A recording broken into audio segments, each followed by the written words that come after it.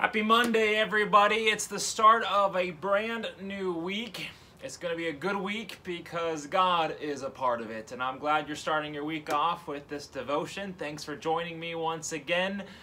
A quick housekeeping note our church board and myself discussed last night worship in our church building.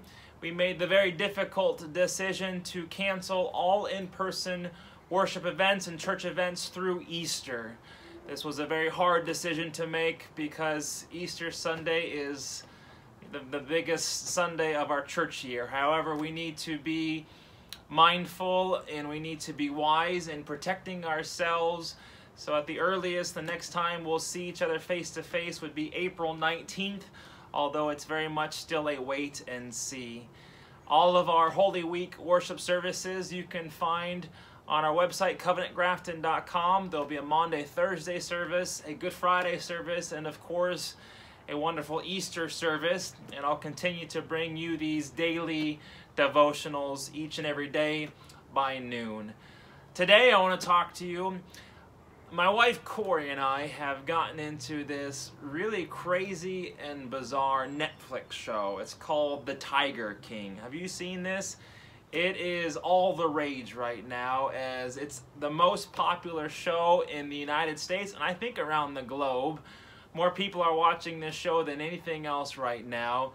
And it is all kinds of bizarre, isn't it? If you've seen it, if you haven't seen it yet, it's on Netflix. It's called The Tiger King. And if this was not real life material, I don't think I would believe it. In fact, if they'd make a fictional TV show about this stuff going on, I think I'd roll my eyes and I wouldn't believe half the stuff that I've been seeing. But it's about these big cat.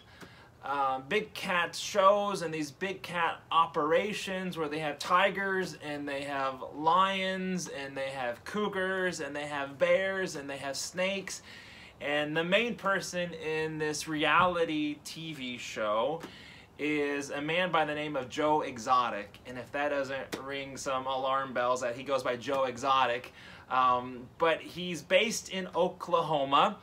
And there's all kinds of crazy twists in this shows. And I'm only three episodes in. So I'm only about half the way through. But he's got this nemesis that lives in Florida, and his nemesis is trying to rescue these tigers and lions from these different types of shows that Joe Exotic's doing. And there's this whole backstory that maybe this woman in Florida killed her husband and fed her husband to tigers on her own. And I'll tell you, this show, it's crazy. It's bizarre.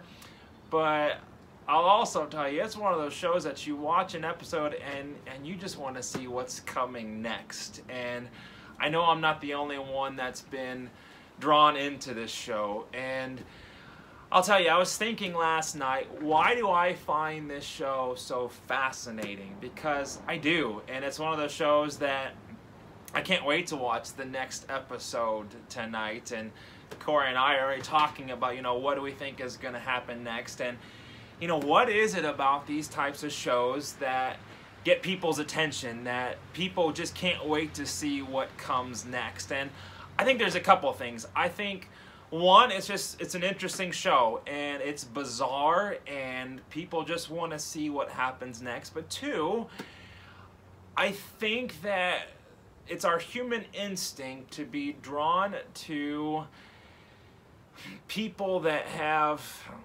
problems in their life, for lack of better words. That we like to look at other people and we like to feel superior to them. That we like to feel that our lives are in better shape than theirs. That we we've got life figured out more than they do, that our problems are less than their problems. And when we see other people falter, when we see other people fail, and when we see the chaos going all around them, that there's something inside of us, and I think it's it's kind of a a sinful side of us that we feel drawn to that. And I think many of us look at this and we like to feel superior to them. Now, connecting this with our faith. This is human nature. this human nature to feel that we are somehow superior to our neighbors, that we are somehow superior to other people, and when it comes to how God sees us, when it comes to how God sees the world, we like to be able to point at other people and say, well, God, you know, I know I've got my faults and I've got my own problems in life, but, you know, at least I'm not Joe Exotic. Or, you know, at least I'm not, you know, this person that's in the midst of an affair. affair. Or at least, you know, I, I have never been you know, whatever it might be. And we can prop ourselves up and we can make ourselves feel superior. We can make ourselves feel that, you know, we're, we're somehow righteous in our own capabilities.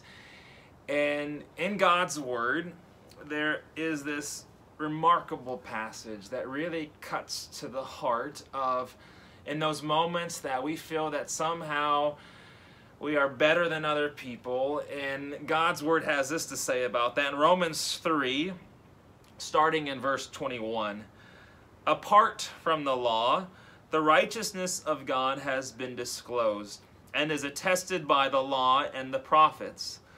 The righteousness of God through faith in Jesus Christ for all who believe, for there is no distinction since all have sinned and fall short of the glory of God.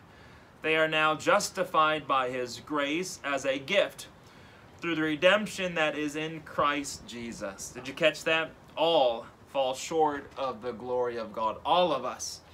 All of us have faults. All of us have sin. All of us have parts of our lives that you know, if the rest of the world would know about us and about the things that we've done, we'd be terribly ashamed. And the truth is that, that God sees all of our faults. God sees all of our, our, our shamefulness. God sees all, all the missteps and all the, the ugliness of our lives. And yet, here's the beautiful part. And here is the gospel that God sees this.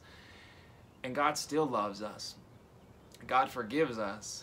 And God sent his son Jesus Christ into this world to die for us because of how much God loves us that God wants to take that sin from our lives. And and God each and every day wants to remind you that he loves you.